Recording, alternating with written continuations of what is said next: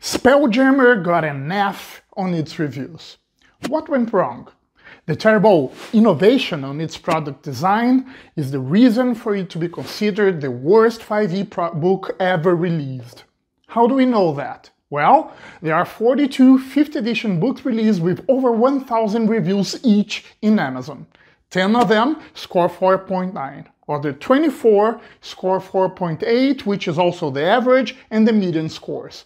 Five of them score 4.7 and only two books score 4.6. And then, alone and way behind, there's Spelljammer with a blunt 4.4. Its buyers have made it loud and clear. It's a bad product, or at least much worse than any other 5e book, and I cannot imagine that such a bad review have not impacted sales. Wait, you don't agree that Spelljammer is the worst D&D product released by Wizards? Tell us why on the comments below.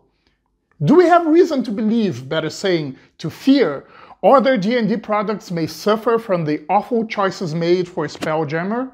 Well, yes and no.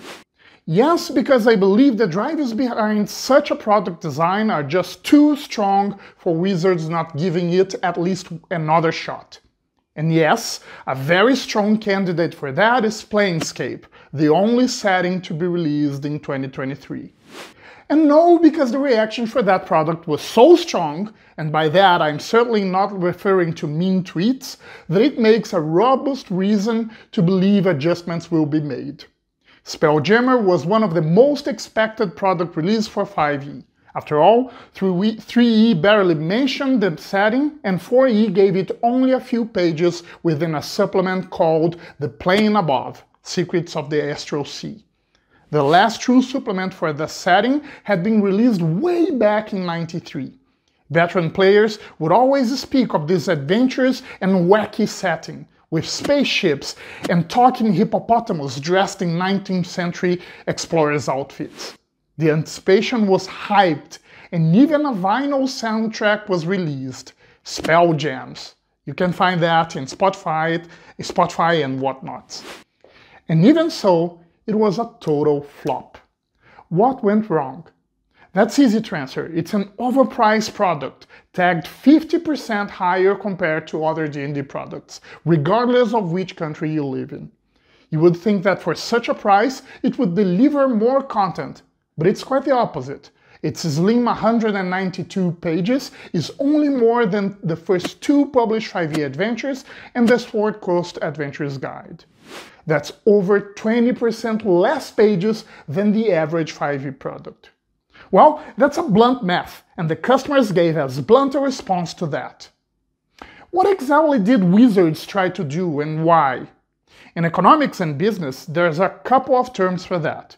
What they were trying to do was testing the customer's willingness to pay, or see what would happen with the price elasticity of the demand at a higher price point. Frankly, Wizards knew they would sell less products if they were to set it at a higher price. The real question was, would they make more money? Of course, if you were to tag a similar product to what we're used to with a 50% higher price, the reaction would be equivalent to barbarians storming the gate. So, how do you do that? How do you pull that trick? By changing the product design so it's not a direct comparison. You divide the same content in three books, you add a pretty damn screen, you put all of that on a bookcase. And I would guess all of that does increase the printing, the printing costs by some 50%. But let's be frank here. There's no way that's the most relevant cost of such a product.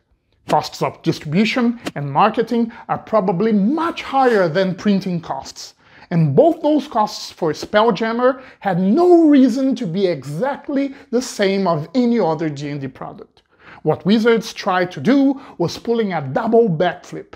They tried to sell fewer units for a much higher price, betting the endgame would be much higher revenues. And even if that didn't work, they bet they would profit more anyways, as the Spelljammer product margin was much higher because its cost relative to its price is much lower than other products. Bluntly, I think Wizards was testing the waters to see if they could sell D&D products for a much higher price. And given the terrible product review, it seems to me that they have drowned. Or at least it became clear they went too far. Obviously, it's not a matter only of page count, but the consequential lack of content of so few pages. For a first shot at the fantasy sci-fi subgenre, the books lack everything, from character backgrounds to spells, from locations, which are the heart of any setting, to ship-to-ship -ship combat rules. This last one is hard to understand, given that Ghosts of Saltmarsh had already brought rules for naval combat. Last but not least, the Spelljammer adventure is too short for a published adventure and too long for the pages it steals from what could have been further setting development. I can't help to think that the whole product design was a gross mistake, and whoever pushed that idea inside the corporation must have gone through some awkward moments with its results. There are two other products that are just too similar for a price comparison with Spelljammer, and each of them with three books and a DM screen. The Core Rules gift set and the Expanded Rules gift set. Prices vary according to what country you're in, but the core rules book's gift set price is some 60% higher than Spelljammer, and you get five times, yes, you heard it, five freaking times as much content with its 992 pages. As for the expanded rules, its price is around twice as much as Spelljammer, and you still get three times and a third more content with its 640 pages. Wizards probably thought that customers would compare the full price of those similar products, which would position Spelljammer at a lower price point, and not take into account their immense difference in delivery of content. In hindsight, it's frankly laughable that someone inside Wizards would really believe they would get away with such a cheap pricing sleight of hand. Point is, there's no easier way of making money than pushing the price tag to the very limit. And that's too strong a drive for me to believe that Wizards will not try to do that again.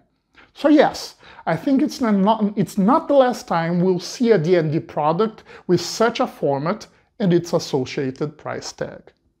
What makes me a bit optimistic about this new product format is that it doesn't take much to change its design from a lame pricing magic trick into an actually good product for D&D fans.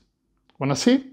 Imagine its three books were an 160-page campaign guide, an 120-page adventure, and a 60-page monster menagerie, totaling some 340 pages with the same content quality, quality we've seen in recent settings. For that same Spelljammer price tag, would you buy it if you had the money? I myself wouldn't appreciate if, if all products were like that, but for a product I wanted once a year, I would buy it with no complaints.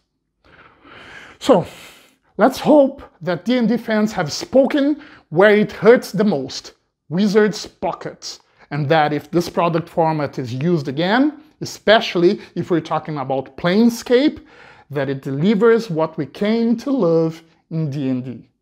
Outstanding content.